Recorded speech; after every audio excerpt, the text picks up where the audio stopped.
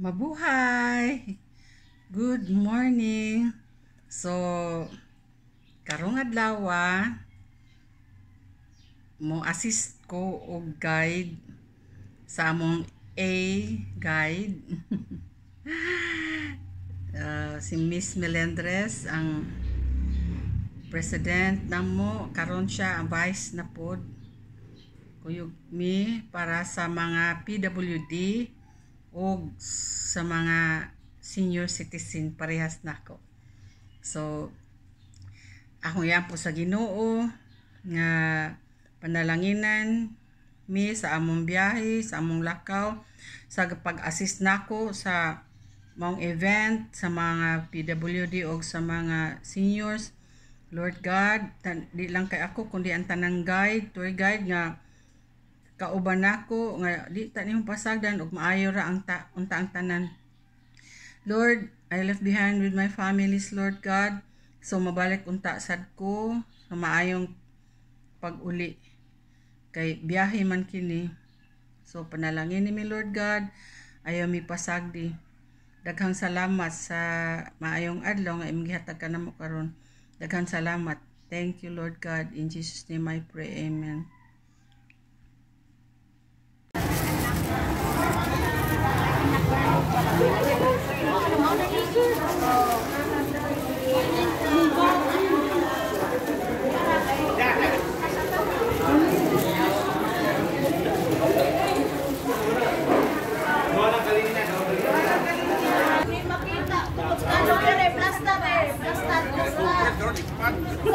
sila dire dire dire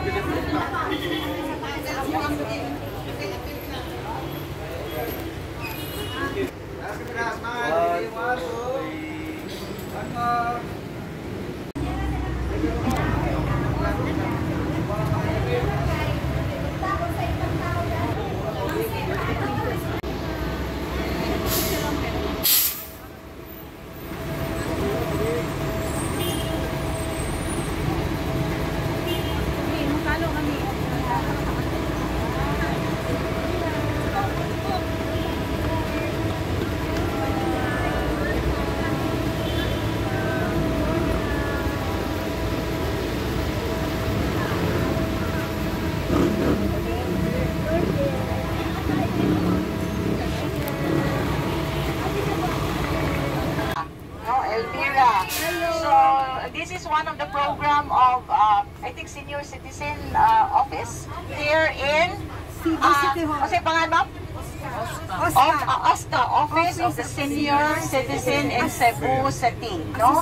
And in partnership with the Department of Tourism. No, na nga, naami dire. No, so, itagaan mo sa mga t-shirts, sa ato ang bagong slogan sa Department of Tourism, mao na ang ato ang bagong slogan, mao na ang Love, Love the Philippines. Diba? Second Filipino saint, we're proud kayo tatay.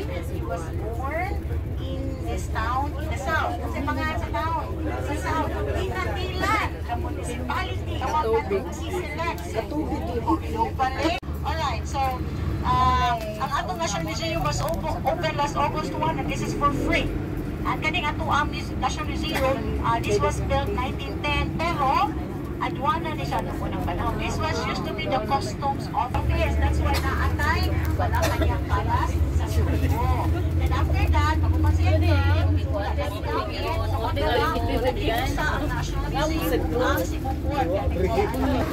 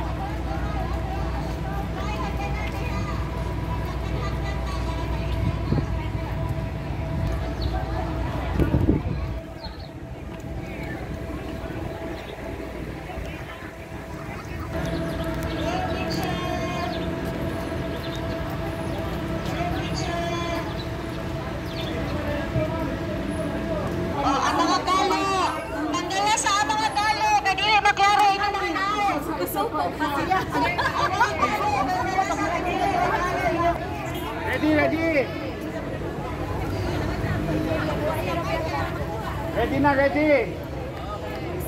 Eyes here, eyes here, everyone. Ma'am. Okay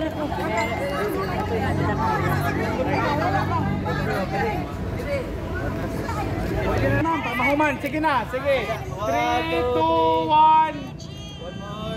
3, 2, 1. Stay put. 3. Sige, sige. Ini pengantar museum. One, three. Sige, sir. Eh, okay. Picture. Picture cellphone. One, go! Mabuhay ang Philippines! Alright.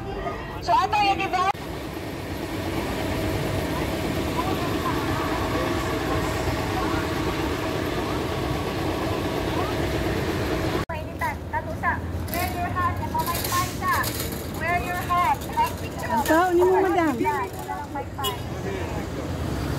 Uwe, ang tao kainit.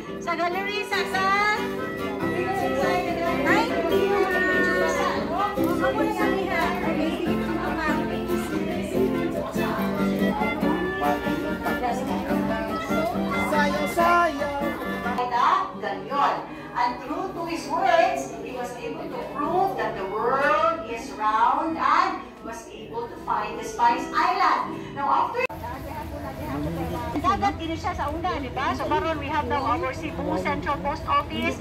Sa likod, we have our Pier 1. No? So, na diha. Wala naman ni so, ang ilang ba na ako ano na siya, kalang ato ang gitawag na subway.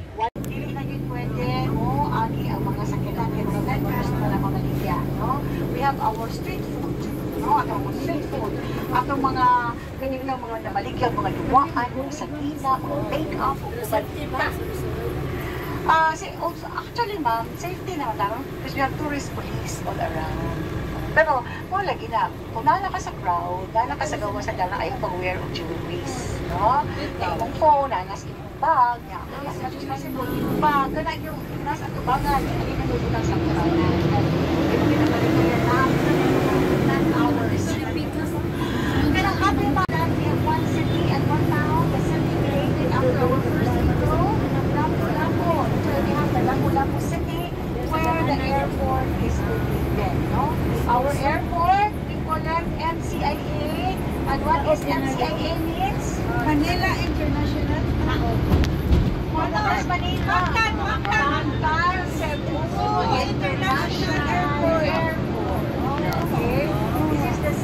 largest airport in the country.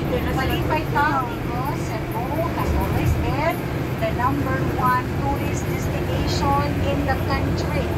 Can you imagine that, di ba? Pwede niluta ang Boracay, pwede makuha, bumaha ang Palawan, nagano ang Cebu man yun. Ang always the number one tourist destination. Because Cebu has it all. Diba? Cebu has it all. If you want one beach, where do you go? go to? Bantayan. If you want to dine, go to Malakas. If you want to see the whale shark, where do you go? Oslo. If you want to see the sardines and the turtles, yes. where do you go? Moal. Moal. Moal. If you want to visit Our Lady of Church in the province of Cebu, ang pangalan, Nuestra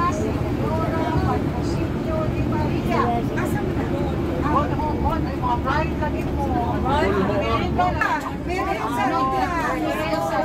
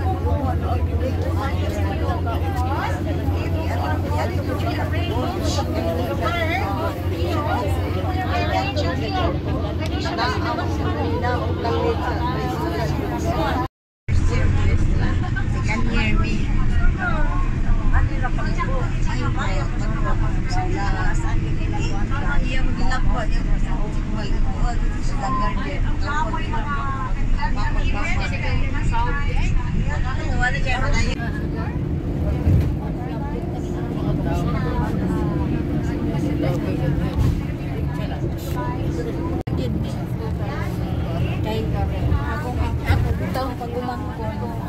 Naingon siya. Kana. Ano ba ba? Ay kana lakagan na.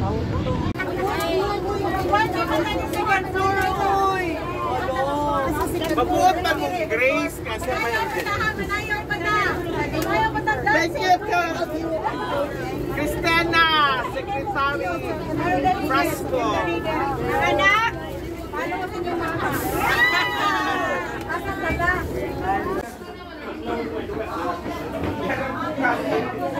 Klaro na, ma'am?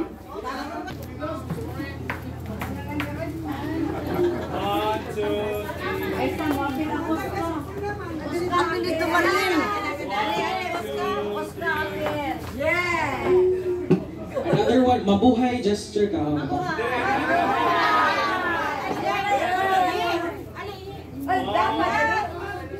One, two, three. Hinaog mo sila dito, kitawa naman. Kaya lang ta. Sige na mabalik ko sila. Kaya naman yung Mao. Pwede ako dahil lang ありがとうございます。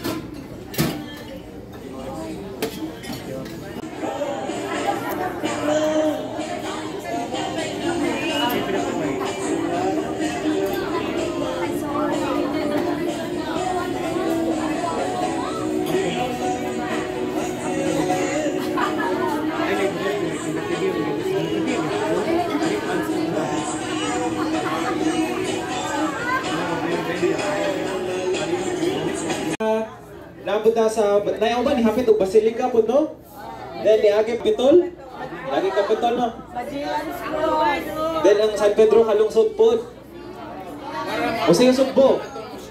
Yun, sige, daghan mo din mo naatuan niya. Naabay uban ninyo nga first dance and enjoy og uh, PWDs and of course members of the LGBTQI. So, ang DOT, dili ra jud siya about lang gyud og mga suri-suroy, no? Of course, it's about uh, the tourism industry man, but we in the Department of Tourism, we want to apilon bitaw na mo tanan sa among mga programa dili lang katong mga batanon And most especially, we want to include po ng atong mga senior citizens na sila po mismo, kamo po mismo, makasuway mo o bisitaan yung mga lugar ang mo ang gisigyan o promote.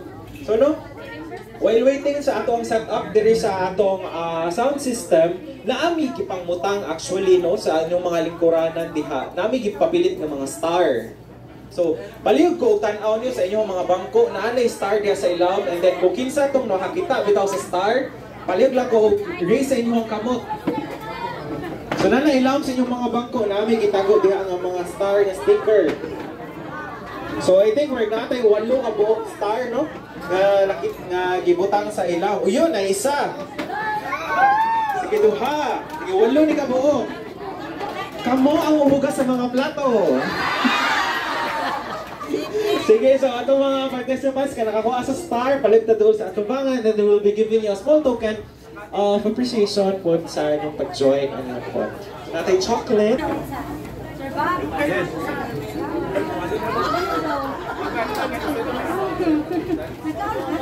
So, get mo yung pakalipay lang, pagliti daw.